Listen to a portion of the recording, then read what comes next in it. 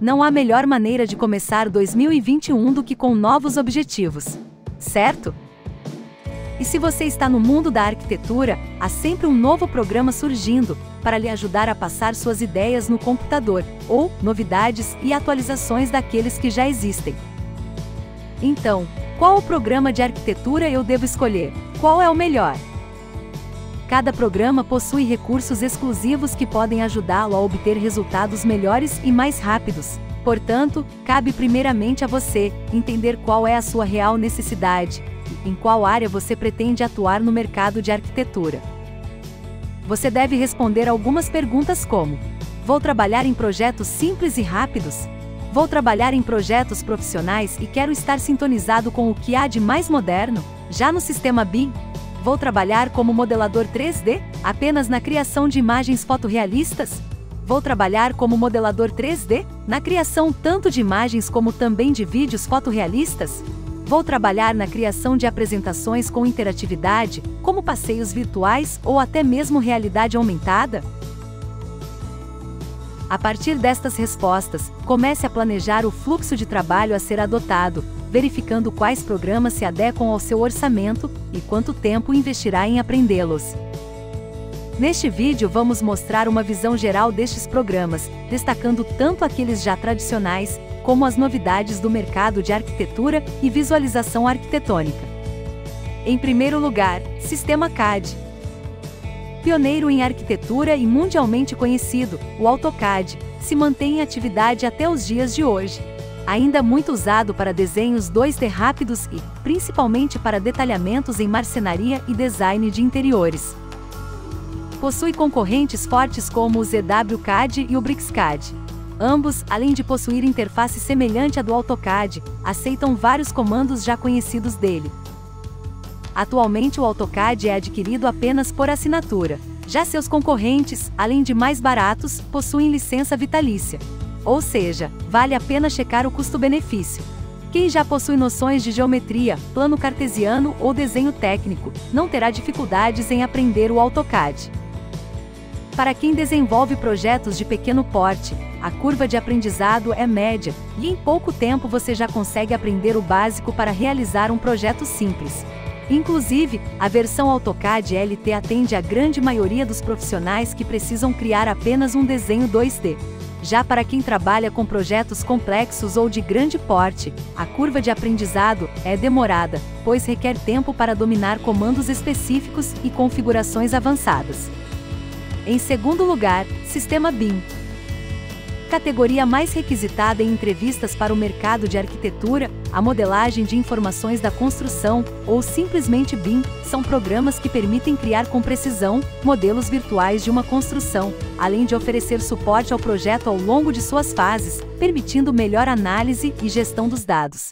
É a principal ferramenta para arquitetos contemporâneos e, hoje em dia, é praticamente uma obrigação ter habilidade com esta tecnologia. Hoje falaremos sobre os principais, ArchiCAD. Primeiro software BIM para computadores pessoais. Possui uma interface intuitiva e oferece um conjunto de ferramentas para projeto e engenharia de edifícios. Com ele você pode ir bem fácil de um modelo 3D simples a um modelo mais detalhado, com todas as informações da documentação nele. Em alguns casos, os clientes vão desejar pré-visualizar o projeto com qualidade fotorrealista, mesmo ele feito em programa BIM. Nestes casos, basta usar os plugins para renderizadores como Inkscape, Lumion, Twinmotion e D5 Render. Ainda é possível criar passeios virtuais com interatividade, usando o plugin para Unreal Engine 4. Revit, o mais utilizado no mundo, usa um processo baseado em modelo inteligente para ajudar a planejar todos os aspectos de um projeto, desde o projeto até a construção e além. Seu escopo é vasto e sua caixa de ferramentas é profunda. Ele também atende a engenheiros, construtores, gerentes de projeto e muito mais. Por ser da Autodesk, o mesmo fabricante do AutoCAD, a interface é mais próxima e possui maior procura no Brasil. Ao final do projeto BIM, também é possível criar imagens e vídeos fotorrealistas, usando plugins para renderizadores como V-Ray, Inkscape, Lumion, Twinmotion e D5 Render, Também é possível criar passeios virtuais interativos, usando plugins para o Shapespark e para Unreal Engine 4. Vectorworks pouco falado no Brasil, possui ferramentas interessantes para criar o desenho 2D a partir do 3D. Sua modelagem 3D parece um pouco confusa, mas esta é uma comparação muito curta e superficial. Portanto, não falaremos sobre ele, mas lembramos que, ao final do projeto BIM, com o Vectorworks também é possível criar imagens e vídeos fotorrealistas, usando o plugin para o renderizador Lumion. Se você ainda está perdido sobre o que é BIM ou como fazer a migração do CAD para o BIM, assista ao vídeo sugerido na parte superior da tela. Em terceiro lugar, programas de modelagem 3D. Modelagem 3D para arquitetura, ou simplesmente 3D, é a arte de dar volume às plantas baixas. O modelo 3D pode ser criado a partir de um arquivo CAD ou diretamente no software de modelagem 3D. Existem vários programas, cada um com recursos exclusivos. Alguns muito utilizados para outras áreas, como criação de produtos ou personagens. 3ds Max, SketchUp, Cinema 4D, Blender, Rhino, Modo. Existem vários. Neste vídeo vamos focar apenas no 3ds Max e SketchUp, sinalizando que o Blender e o Rhino também são muito importantes para a arquitetura, já que renderizadores como o V-Ray e o D5 Render oferecem plugins para workflow com eles. 3ds Max o mais completo software de modelagem 3D. Quem não tem experiência em modelagem 3D e tem um primeiro contato com ele, geralmente acha ele complexo. Concentra inúmeros recursos nativos, sem a necessidade de instalação de plugins para fazer o básico mapeamento UV, otimização de malha poligonal e animação de objetos para exportação de arquivos FBX animados são algumas das coisas que muitas vezes precisamos fazer. E o Max faz. Ele também possui renderizadores nativos, o Mental Ray e o Arnold, permitindo ao usuário já apresentar alguma imagem do projeto com fotorrealismo, mas também possui plugins para renderizadores como V-Ray, Corona Render, Escape, D5 Render, também é possível criar passeios virtuais usando plugins para Unreal Engine 4. O Max, como é popularmente chamado, possui uma curva de aprendizado demorada. Ele não possui uma interface tão intuitiva, fazendo com que o software pareça quadrado. Você vai precisar de tempo até se sentir seguro para entregar projetos de forma rápida com o Max. SketchUp o mais amigável e veloz modelador 3D para arquitetura mudou sua logomarca recentemente. Longe de ser cheio de recursos como o 3ds Max, o Sketch, como é popularmente chamado, depende de plugins para ampliar os seus recursos, para que sejam mais avançados e específicos. Devido à sua simplicidade para modelagem 3D pura e uma representação 3D básica, é o mais usado entre os profissionais de arquitetura e engenharia o SketchUp possui uma curva de aprendizado rápida. Com uma interface intuitiva, em pouco tempo você já consegue criar projetos 3D simples. Infelizmente não possui um renderizador nativo, e você só alcança fotorrealismo nele através de plugins para renderizadores como V-Ray, Escape, Lumion, Twinmotion, D5 Render, no entanto, com ele você consegue criar vistas e cortes rápidos, com visual agradável, para a concepção de uma ideia, um croquis ou mesmo um anteprojeto básico. Com o Sketch você também pode criar passeios virtuais interativos, usando plugins para o Shapespark e para Unreal Engine 4. De uma forma geral, com o Sketch, o profissional consegue produzir mais em menos tempo.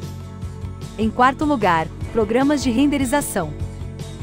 Você já deve ter visto algumas imagens de empreendimentos imobiliários, aqueles imóveis que ainda não foram construídos ou ainda estão em planta, mas, através da computação gráfica, você já pôde pré-visualizá-los. Existem programas que dão vida à modelagem 3D. Através do processador ou CPU, eles calculam a interação da iluminação sobre os materiais aplicados no projeto 3D, resultando em imagens fotorrealistas. Ainda nos dias de hoje temos dois programas tradicionais que utilizam esta tecnologia para gerar seus renders. São eles: V-Ray e Corona Render. Ambos pertencem à empresa Chaos Group e suas imagens são realmente impressionantes. V-Ray, provavelmente o líder de mercado em criação de imagens estáticas fotorrealistas. Produz imagens com qualidade fotográfica e é também conhecido por sua versatilidade, já que roda em computadores com diversas configurações de hardware. A sua versatilidade também se deve à variedade de plugins para os mais vários modeladores 3D, como o SketchUp, 3ds Max, Cinema 4D, Blender, Rhino e Modo. O V-Ray possui uma curva de aprendizado rápida para usuários Sketch. Com uma interface simples, em pouco tempo já é possível entregar renders com o V-Ray para SketchUp. Já para usuários Max, o V-Ray possui uma curva de aprendizado média. Quem já domina o Max, não tem dificuldades em criar renderizações com o V-Ray para 3ds Max. Corona Render. Conhecido pela qualidade ultra realista, um render feito no Corona é sem dúvida o que mais se aproxima de uma fotografia. O Corona possui plugin apenas para 3ds Max e Cinema 4D. Talvez por isso seja menos usado, se comparado ao V-Ray. Dentre as vantagens podemos destacar a facilidade de uso e a praticidade para se obter resultados realísticos. Mesmo em cenas com reflexos complexos, sombras difusas e grande quantidade de vegetação, o Corona Render se mostra rápido, com um feedback imediato. Em quinto lugar, renderizadores em tempo real. Os renderizadores baseados em GPU, ou seja, que usam o processamento na placa de vídeo, são sem dúvidas o melhor custo-benefício quando se trata de qualidade versus tempo de renderização. Além disso, possuem um diferencial crucial. A renderização em tempo real nos permite verificar os acertos, os ajustes de iluminação e materiais com maior rapidez, otimizando o tempo no fluxo de trabalho. Estes programas são muito utilizados para a criação de vídeos, já que este recurso é incrivelmente mais rápido com esta tecnologia. A possibilidade de inserir objetos com animação própria, como pessoas caminhando ou veículos em movimento, tornam os renderizadores em tempo real ainda mais necessários em escritórios ou estúdios de arquivis. Lumion O Lumion é um dos mais antigos renderizadores GPU do mercado. Atualmente na versão 11, é o mais popular de todos e possui qualidade de imagem e vídeo impressionantes. Possui uma curva de aprendizado rápida, já que a interface é amigável e simples. No entanto, possui um ponto negativo: seu custo é alto e fora da realidade da maioria dos brasileiros. Twinmotion Adquirido pela Epic Games, proprietária da Unreal Engine, o programa teve um grande destaque no mercado em 2020, apesar de já existir há algum tempo. Uma das vantagens é a facilidade de uso, pois tem uma curva de aprendizado rápida e a sua versão estudantil é completa. Mesmo não entregando qualidade fotorrealista como os demais, o Twinmotion tem outputs interessantes, como a criação de vídeos 360 e a exportação de arquivo executável, que possibilita a navegação no projeto mesmo sem ter o programa instalado. Enscape O Enscape entrega boa qualidade de imagens e destacamos duas vantagens. A integração com modelador 3D, SketchUp e a rapidez para configurar materiais pré-prontos em sua cena. Um material, glass, aplicado no SketchUp é automaticamente representado como vidro no Enscape. Além de possuir uma curva de aprendizado rápida, seu valor é mais acessível, porém sua versão trial é válida apenas por 15 dias. D5 Render projetado para computadores com placas de vídeo RTX, da categoria Real Time, é o único que utiliza a tecnologia Ray Tracing, ou RT, junto com o um novo programa Chaos Vantage, que veremos logo depois. O D5 é um software novo e promissor, que permite a criação de imagens e vídeos ultra-realistas. Tanto para cenas internas como externas, é indicado para profissionais exigentes quando o assunto é qualidade final do render. Possui curva de aprendizado rápida, já que a interface é bem amigável. Sua setagem é mais fiel e fácil de memorizar para aplicação em outras cenas. Chaos Vantage é um novo renderizador real-time, standalone, com o mesmo sistema do V-Ray e com a tecnologia Ray Tracing, ideal para animações e cenas complexas. Desvantagem: você precisa ter o arquivo V-Ray já configurado em outro programa, como o 3ds Max ou o SketchUp. Segundo a Chaos, basta arrastar uma cena VRI completa para o Vantage e começar a explorar. Também possui um link direto para o Max, assim você pode usá-lo como se fosse uma nova viewport. Diferente de outras soluções real-time, não é necessário otimizar geometrias, abrir malhas UV ou fazer bake de iluminação. Foi criado para lidar com cenas enormes com bilhões de polígonos. É o jeito mais rápido de visualizar suas mais detalhadas cenas V-Ray em tempo real. Como é um programa novo, não falaremos sobre sua curva de aprendizado. Em sexto lugar, programas para criação de tour virtual.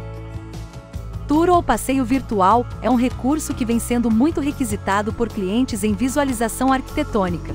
Muitas vezes o cliente final quer andar pelo projeto, e em outras o cliente também quer interagir, mudando materiais, por exemplo.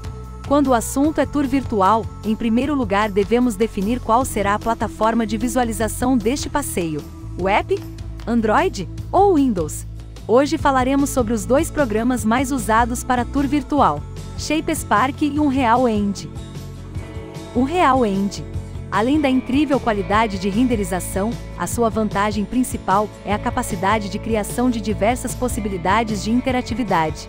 Uma vez que a Unreal é um programa para desenvolvimento de jogos, você possui através de programação com blueprints, infinitas possibilidades para a criação e solução de ideias pensadas em arquitetura. A desvantagem é a curva de aprendizado ser demorada. Você vai precisar dedicar muito tempo para aprender e se sentir seguro para entregar projetos feitos na Unreal Engine 4. O tour virtual feito na Unreal é para uso offline. Nela é possível criar um arquivo executável para rodar na plataforma Windows. Mas também é possível gerar arquivo APK para rodar na plataforma Android, para uso em dispositivos móveis, como tablets e smartphones. Há quem use um recurso para rodar tour virtual de maneira online, chamado Pixel Streaming, mas requer um computador dedicado só para isso, e um servidor, como o Amazon AWS. Shapespark. Se a sua real necessidade é um tour online, ou seja, seu sonho é enviar o seu projeto para o seu cliente passear, usando apenas um link URL, então não existe no mercado nada melhor do que o Shapespark. Com uma curva de aprendizado rápida, em poucos minutos você já consegue criar um passeio interativo, com qualidade fotorrealista atraente. É possível explorar a troca de materiais, incorporação de links HTML, dentre outras opções que vão deixar sua apresentação única. Também é possível criar videoconferência ou encontro virtual com seu cliente dentro do projeto. Ou seja, você pode apresentar o projeto ao cliente com ele dentro, navegando e explorando cada canto. Possui plugin para workflow direto com Revit, SketchUp e 3ds Max, mas aceita outros formatos 3D, como FBX da IOBJ, para utilização com a maioria dos modeladores 3D. Em sétimo lugar, realidade aumentada. Se existe algo que é um grande diferencial em apresentação de projetos para arquitetura, é o sistema de realidade aumentada, ou simplesmente RA.